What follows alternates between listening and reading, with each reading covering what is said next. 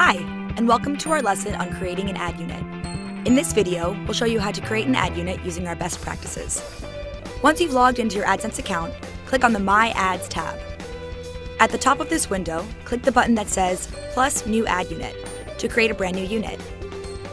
Name the ad unit something that you'll be able to recognize, so it's easy to find if you want to change the settings later. Next, select the size of the ad unit from the dropdown. As you can see, we recommend choosing one of the four sizes that tend to be the best performing. We'll select the 728 by 90 leaderboard for this example. Now you'll select your ad type.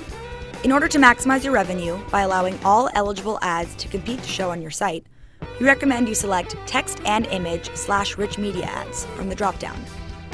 Not all sizes can support image and rich media ads, so we suggest sticking to the recommended sizes highlighted in the ad size dropdown above.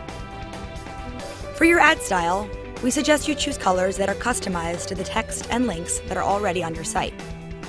To integrate your ads, make the background and borders of your ads the same color as the background of your page where the ads will be placed.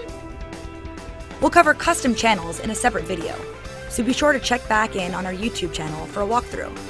For now, let's skip to the bottom of the page, where you can choose your option for backup ads. Backup ads are what will show when Google has no targeted ads available. For this 728 by 90 leaderboard ad unit, we'll choose to show blank space. That's it! Just hit Save and Get Code and paste the ad code exactly as it's generated into the body tags of the HTML for your site. You should start to see ads almost immediately. For more demos to help you manage and navigate your AdSense account, please check out our YouTube channel.